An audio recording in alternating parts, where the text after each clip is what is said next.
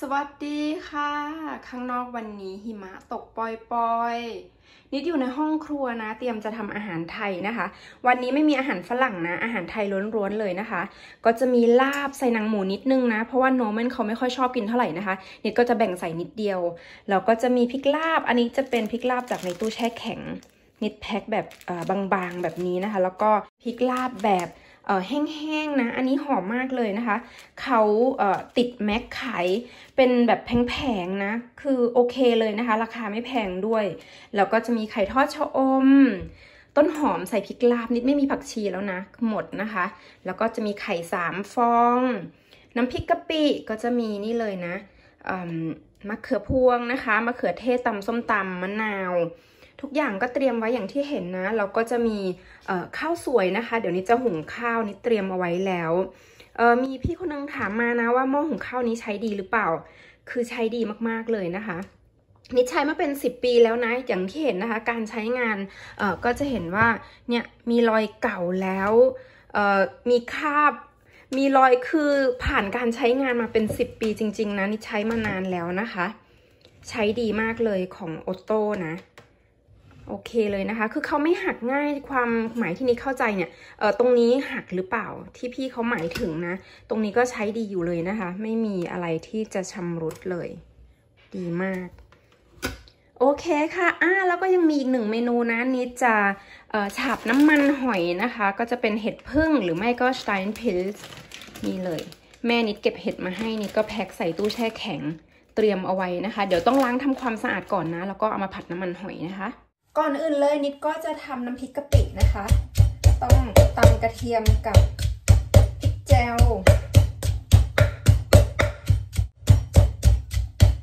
นิดตำได้สักพักหนึ่งแล้วก็ประมาณนี้นะ ยังหยาบอยู่เลยนะคะ ก็ตำไปนิดนึงสำหรับนิดแค่นี้ก็ถือว่าใช้ได้แล้วนะ ไม่ต้องละเอียดมากนะคะ ต่อไปก็ตามด้วยมะเขือ พวง เพราะว่านิดต้องการให้เขาแบบบุบๆนิดนึง ตรียมไว้นิดเดียว เพราะนิดกินคนเดียวนะน้ำพริกกะปิ เรียบร้อยนะคะ ก็ตามด้วยมะนาว คือใส่อะไรก่อนก็ได้นะ นิดไม่ได้ซีเรียสนะคะ โนเมนเขาล้างเครื่องกาแฟนะ เพราะว่าจะเอาเอไปขายนะคะในไม่รู้เหมือนกันนะ เขาจะลงขายที่ไหน แล้วก็ใส่กะปิ นี่ใส่กะปิไปสองช้อนโต๊ะ คิดว่าน่าจะโอเคนะคะ แล้วก็อันนี้จะเป็นน้ำร้อนนะ ก็จะใช้น้ำร้อนสักช้อนหนึ่งนะคะ เพื่อช่วยในการบีให้เขาละเอียดนั่นเองนิดก็ทำตามสไตล์นิดเองนะ เพราะว่านิดตำน้ำพริกกะปิไม่เป็นนะคะ เมื่อก่อนนี้ อันนี้เพื่อนคนบุรีรัมนะ เป็นคนสอนนะคะ ก็จำสูตรไว้แล้วก็มาทำกินเอง แล้วก็ใส่มะนาว เมื่อกี้นี้ใส่ไปแล้วสองกีบ แล้วก็ตามด้วยน้ำปลา แล้วก็ตามด้วยน้ำตาลทรายนิดหนึ่ง อันนี้จะเป็นน้ำตาลอ้อยนะคะ แล้วก็ นี่จะใส่น้ำตาลจากดอกมะพร้าวนิดหนึ่ง ประมาณเท่านี้ ก็จะหอม นี่ก็คนสีสันน่ากินมาก คือกลิ่นเนี่ยไม่ต้องพูดถึงนะ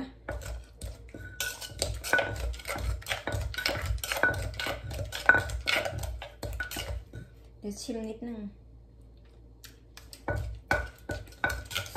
อืมต้องเติมมะนาวนะ เพราะนี่ชอบแบบเปรี้ยว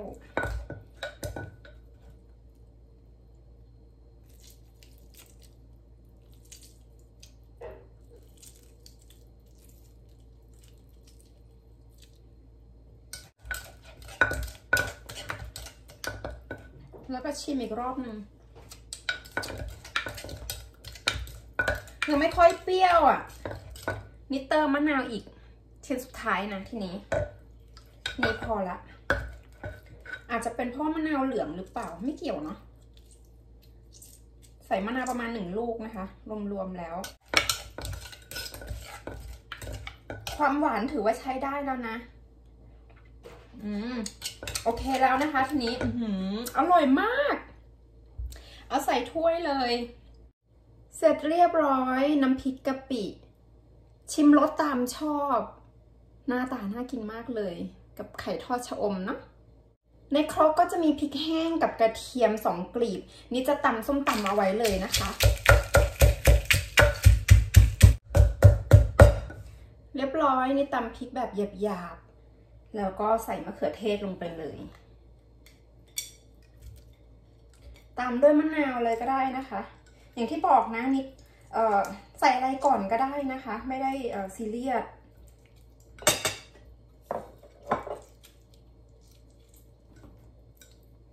แล้วก็น้ำปลาร้า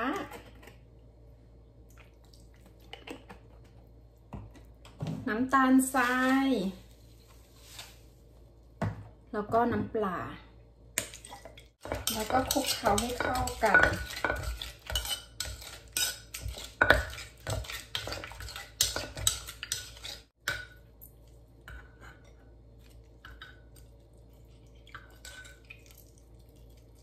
ใส่มะนาวหมดเลยนะคะ ที่เห็นในจานเมื่อกี้ แล้วก็คนอีกรอบหนึ่ง เวลานิดกินส้มตำนิดชอบใส่พริกแห้งนะนิดว่าอร่อยดีนะคะ อืมอร่อยมาก นี่ เอาใส่เลยนะคะ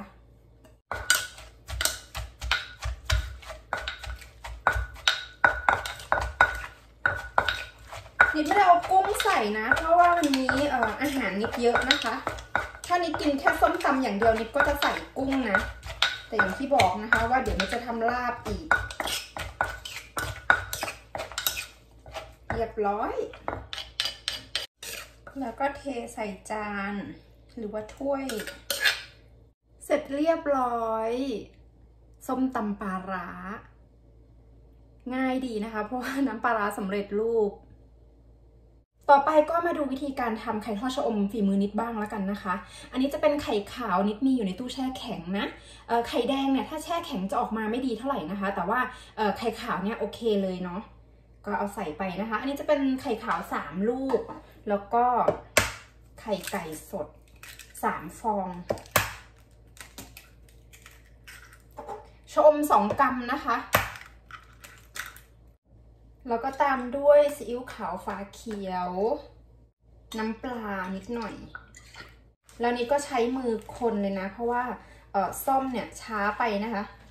ทำกินเองเนาะใช้มือเร็วดี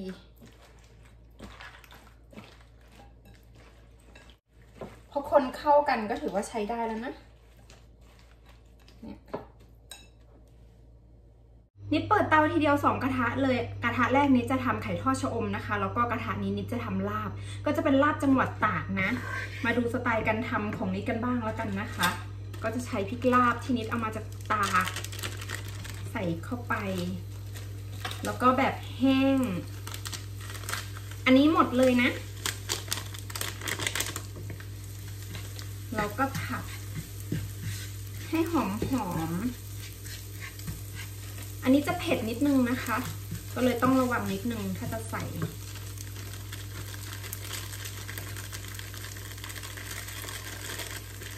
ประมาณนี้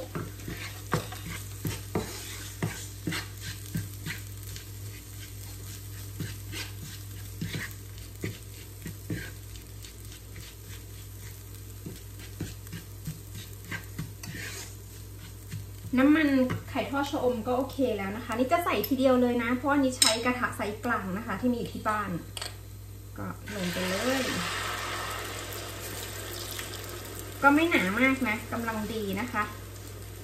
แล้วก็หรี่ไฟนิดนึงนะ เพราะไม่งั้นเดี๋ยวเขาจะไหม้ก่อนนะคะ แล้วก็ตามด้วยหมูสับ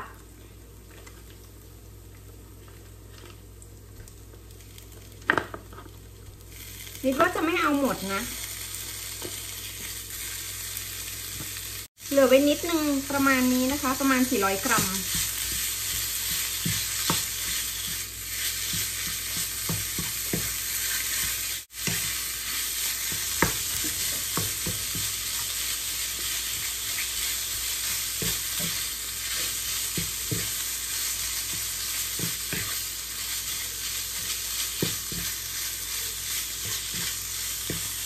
ตัวหมูสับเขาก็จะดูดน้ำมันที่นิดเอาใส่ แต่ไม่เป็นไรนะนิดใช้ไฟอ่อนๆนะคะ ค่อยๆผัดไปเรื่อยๆ เดี๋ยวน้ำมันเขาก็ออกมาเอง ข้างๆจะมีหนังหมูนิดก็จะเอาใส่ไปเลยนะคะ เพราะหนังหมูเขาเย็นแล้ว เราก็ผัดให้เข้ากัน ผัดไปเรื่อยๆจนกว่าเขาจะสุกนะคะ ตัวหมูสับเดี๋ยวมาดูไข่ทอดชะอมนิดนึง โอ้สีด้านล่างน่ากิน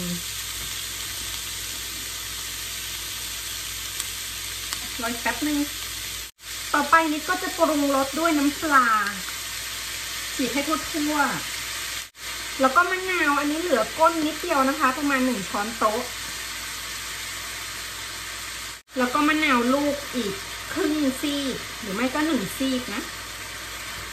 นี่ไม่ต้องการให้เขาเปรี้ยวนะคะ นี่ต้องการให้เขามีกลิ่นมะนาว ถ้าใครชอบแบบเปรี้ยวๆเนี่ยก็เติมเพิ่มได้นะนี่ชอบแบบเปรี้ยวปลาแมปลาแมนะคะ เราก็คนเหมือนเดิม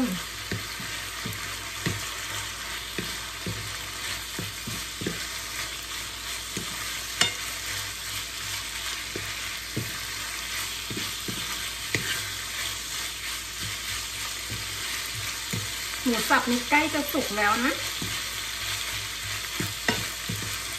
ผัด ไปแป๊บนึง ต่อไปก็มากลับด้านไข่ทอดชะอม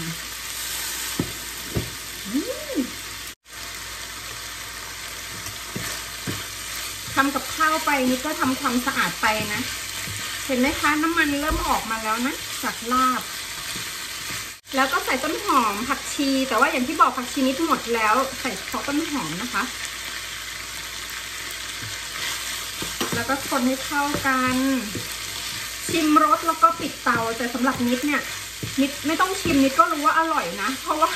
ทำแบบนี้ตลอดนะคะทำบ่อยด้วยเพราะว่านิดชอบกิน นิดหลีเตานิดนึงเพราะว่าเดี๋ยวช่วงกลางเขาไม่สุกเครื่องปรุงอย่างที่เห็นนะคะ มีแค่น้ำปลาอย่างเดียวนะ ไม่มีน้ำตาลทรายหรือว่าอย่างอื่นเลยนะคะ แล้วก็ปรุงรสด้วยมะนาวนิดหน่อย แล้วก็ต้นหอมผักชี ถ้ามีก็ใส่ลงไปนะ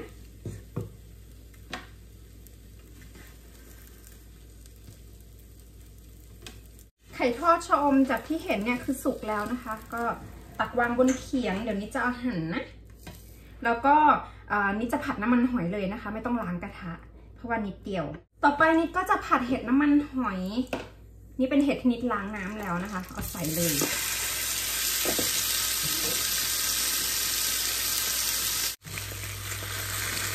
ตัวเห็ดเนี่ยนี่จะใช้เวลาผัดนานนิดนึงนะคะ เพราะว่านิดต้องการให้เขาสุกจริง ๆ แล้วก็เหลืองสวย จะได้น่ากิน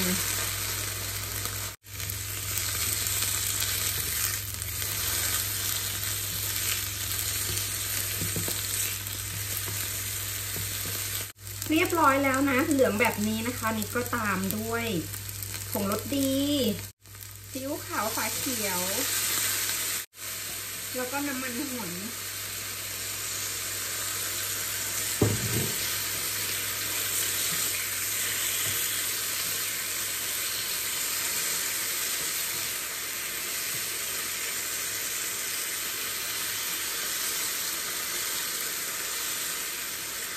คนให้เข้ากันนะ แล้วก็ ปิดเตาได้เลยนะคะ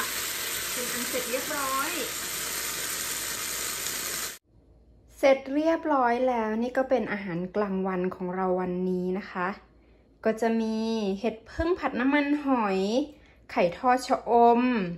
ลาบจังหวัดตาก ผักแพรวน้ำพริกกะปิ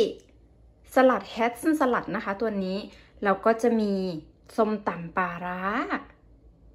ถ้าชอบก็ฝากเป็นกำลังใจให้พวกเราด้วย เจอกันใหม่คลิปต่อไป สวัสดีค่ะ